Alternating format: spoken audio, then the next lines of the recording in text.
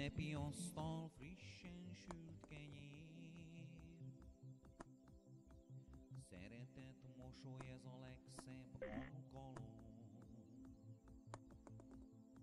Na jó van, most már hagyjál angyalom.